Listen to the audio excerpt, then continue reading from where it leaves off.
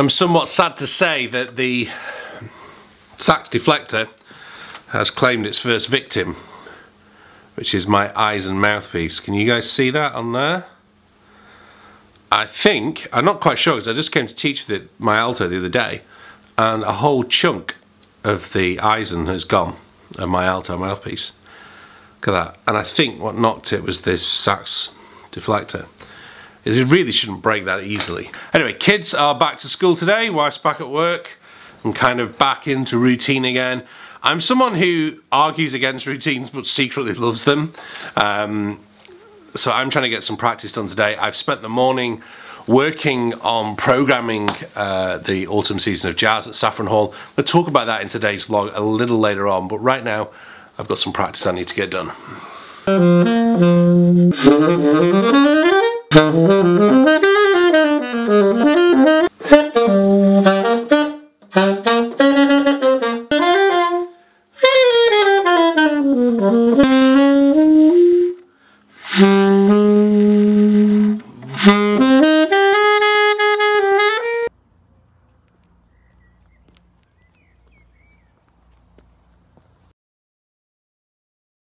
So that bit when you did a great piece to camera, but you actually pressed the time-lapse button rather than the record button.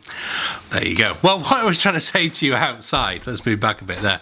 What I was trying to say to you outside is, spent the morning programming the next season of jazz for Saffron Hall, and I kind of wanted to just take you through a bit of my process because if you're an aspiring musician yourself or if you are a musician, you may be where I've been in the past, which is when you're on the other side, and I still am from lots of times, where you're the person pitching for the gig. You're the person wanting to try and get hold of the gig or break into a new venue. And one thing that's always frustrated me is how do some people get in there and I don't or others don't? Um, and sometimes, yeah, you know, let's talk about jealousy. Let's talk about I'm better than them, how are they getting the gig? Those kind of emotions which do strike you and if they're not striking you then you must be a really zenned out person or you're lying to yourself to be brutally honest or you're lying to other people because it's all natural to get jealous sometimes about things. The times in my life when I've got allowed that to really upset me or annoy me have been times where music has been far too important in my life. Music is important to me, but it's not the most important thing. I'm reminded of a quote from the great Ronnie Scott, who was asked when he had his Gerrard Street uh, venue, which was the smaller Ronnie Scott's before he got the building on Frith Street, which is where it still stands today.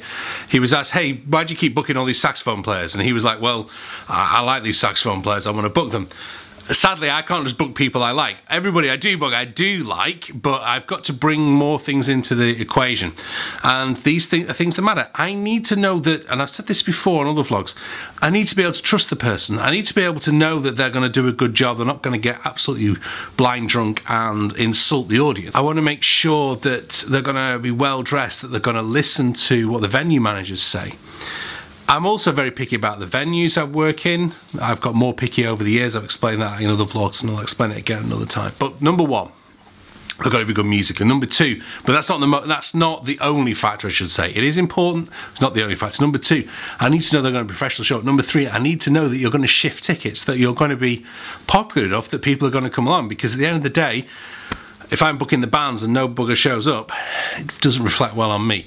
You know, they're, they're not going to trust my judgment as well. So, and I hate that to a certain extent because I want, but then, yeah, I kind of want to book good people, and you know, it's not always a great reflection just because you sell tickets.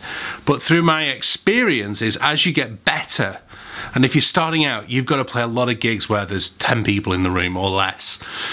Treat that like it's um, you know, there's 10,000 people there. I want to tell you a very quick story because of that. Um, in his autobiography, Sting talks about how when the police were first cracking America, they played a gig, and I can't remember it was, some city in the Midwest, and there were four people in the front row of this 10,000 seater theatre.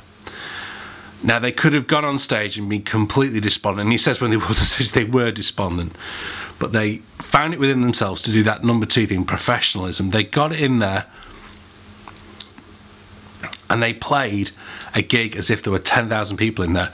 Three of those four people who were sat in the front row were radio DJs who were so thrilled with the show that the next day and the day after that, all they did was constantly on loop almost play lots and lots of police records, which got them a massive audience, which helped them break America.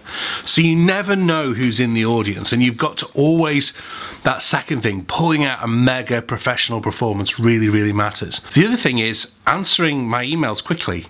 Most people now have phones and laptops. It shouldn't take you longer than 24 hours to respond to an email, especially if it's from someone offering you a gig. If you don't, don't expect to get the gig again in the future. That matters. Even if you, you know, I'm sorry, but even if you're away, if you're away, stick an autoresponder on so the person knows that you're not contactable.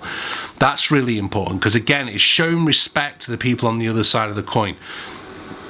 And it's a two way thing. You know, you do that, get a good, yeah, you, you know what I'm talking about. Don't do what some people have done with. Um, with this venue is they've kind of gone behind my back and gone and spoke to somebody else at the venue who then just forwards their email straight to me, having I've already told them to, you know, wait in line and stuff. And at the end of the day, you're breaking rule number two. You're right down the bottom of the list. I don't care how good you are. You're doing those kind of tactics. I'm not going to trust you to deliver a good performance on that. I hope that helps. I'd, we had this in, a, in another vlog over here a while back, and I wasn't meaning to be disingenuous about it. I'm just trying to share with you the other side of the coin because this other side of the coin mystified me for a long time. And what I'm going to try and do, I'm going to try and bring in a friend of mine, Nia, who used to organise a jazz festival. And we'll try and do a Skype interview with Nia and we'll I'll talk to her. These these are conversations I've had with her over time as well. And she said the same things to me as have countless other promoters and it's this kind of behind this magic door what happens how, how, do the influencers make their decisions those kind of things i want to have another q&a soon so if you've got any more q&a's on this subject or any of the subjects of the previous vlogs please put your comments please put them on the right video so i know what you're talking about. I'm intending the next vlog to be on friday but it might be sooner uh, just to see how tomorrow goes. There was one other thing that was um, in my mind to sort of talk to you guys about. Go to if you're if you're interested in the saxophone i'm just putting up today a load of lessons on facebook.com forward slash cambridge saxophone I've taken some of the content off the site and I'm putting it onto the Facebook page for free. If you like that page, then you'll be able to watch the videos. Well, you can watch the videos anyway, but if you like it, you'll get notified when the new ones come up. I'm staggering them over the week so they can come out. Let me know what you guys think about them because, like I said in the survey, I'm thinking of changing things around a little bit. More of that will come through over the next few weeks as we go along. But I think that's about all I'm going to put in today's vlog. I need to get this vlog edited for you. I need to do a little bit more teaching and then I'm heading out to play football. So I reckon now's as good a time as any to say that's the end of today's vlog. Oh, before I go, I haven't done a little subscriber plug. Don't forget, if you don't already, please hit the subscribe button. And have you checked out this video yet,